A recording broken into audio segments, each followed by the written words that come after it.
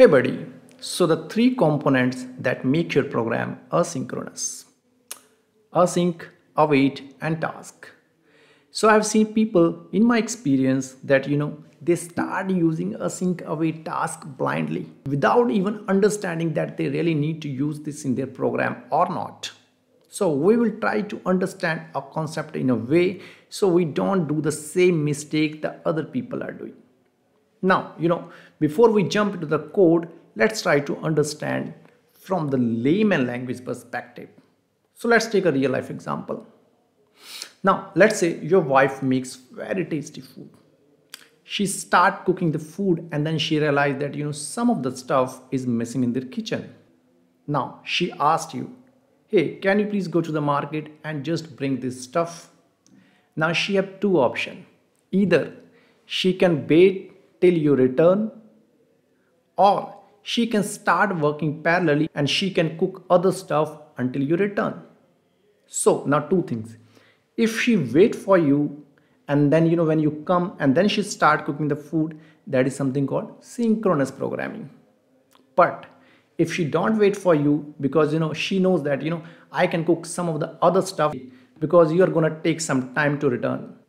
So that is something called asynchronous programming. Now let's jump into the code and try to understand these concepts from C Sharp perspective.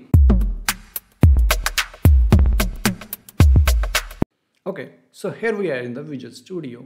And you know what we have done today? So we have created one class called affairs between async task and await. Just to make your program you know this video little interesting. Okay now you know what? We have this program class.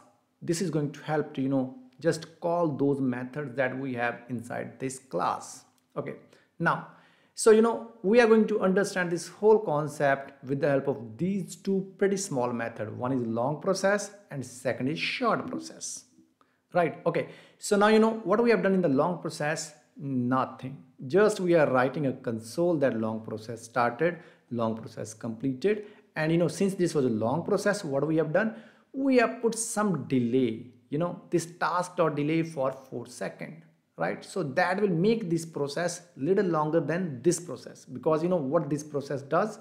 It does nothing. If you see just printed some value started and completed that's it. That means this is going to take very less time as compared to this right? Because there is some wait now you know before we understand this async, await and task, let's try to understand this concept which is synchronous programming.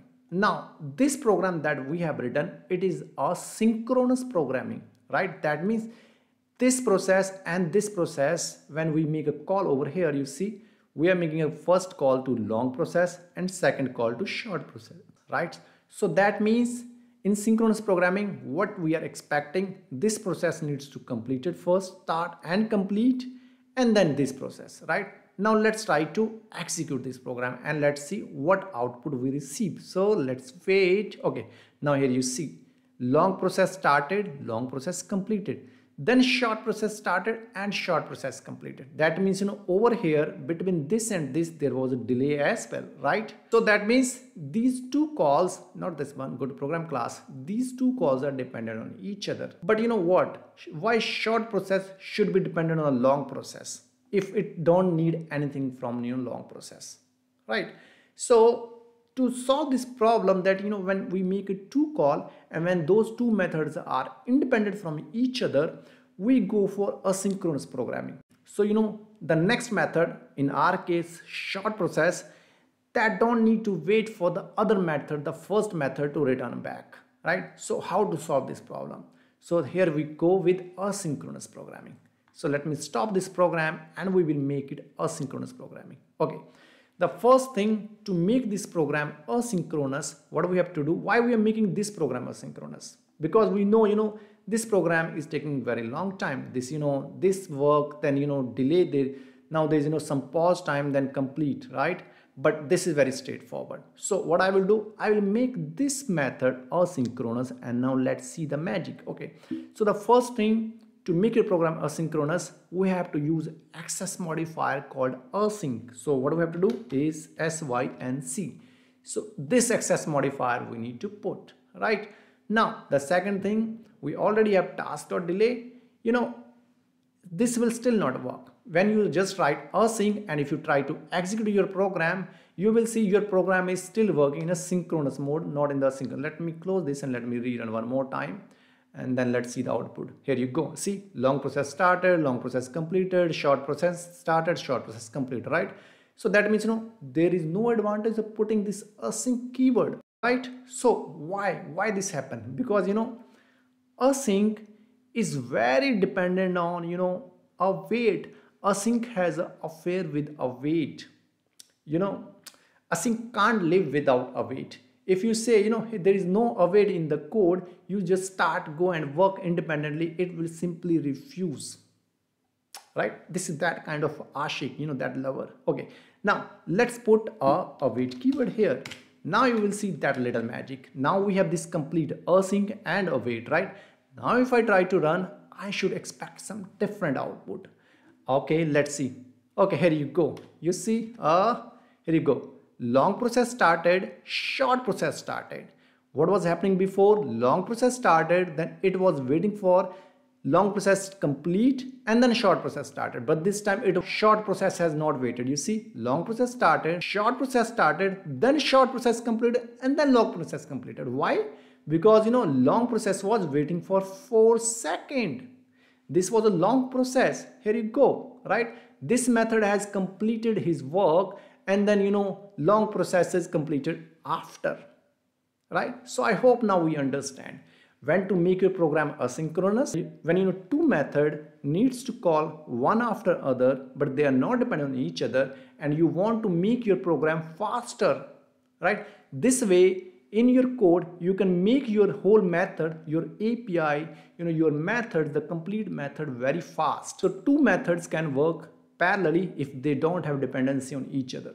Now this was for a async and a await. Now you know how about the task right? So we are used this one task.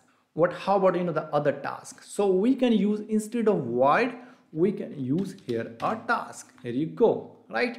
So when you say task you will see uh, it says you know that it is a kind of return type right? Task is also a return type. That means you are returning a asynchronous programming right? So in next video i will try to make you understand what's the difference between task and void because it is very similar. Sometimes you could use task sometimes you could use void it will return the same thing but internally it is technically different. You see system threading dot task represent an asynchronous operation right so if you're working with asynchronous programming and you wanted to make it, you know, return something like asynchronous, only asynchronous, pure asynchronous, go for task, right? And you will see there is nothing difference in the result. If you run this, you will see the same result. Now let me press enter. Long process started, short process started, short process completed, and then long process completed, right? Now, one thing.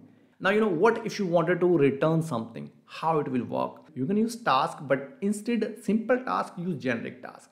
So what we'll do over here we will use that generic.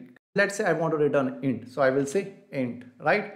And since i'm returning int i have to say here hey return at the end something let's say 10 10 is the integer number right? Now let's go back and now over here we have to put for sure uh either you can put await here directly or you know what let's say i'm saying hey var result right? This is my result and i wanted to fetch the result.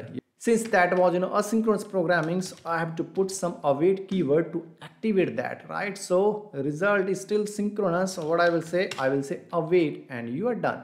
Now let's try to understand the result the output. It should be similar but there should be something returned it's still waiting for four seconds. Here you go so long process completed and it has returned the result 10, right? So when to use async and await when you wanted to go for asynchronous programming, when you wanted to make your program faster, when you know your methods are not dependent on each other, but each of the methods are going to take some time, right? Now, when to use task, when you don't want to return any kind of string, integer, you know, something. But if you wanted to return something, you have to put it this way, task, generic task, right? So task and then generic inside over here, you have to use int string something. Now, one interesting thing, you know, now over here since you are using await right? What if you you know remove the async keyword from here you will see your program will start complaining right? See? So await and async can't live with each other. It's like async can still live right? But it won't work but await will just die. It will just you know make your program dead. It can't live with the async keyword. So now it's asking hey please put async over here on my program right? So you have to make sure await you cannot use without the async. Async you can use without the await but it won't be functional. It would still be synchronous programming. Okay so that's all for today video. I will see you in the next video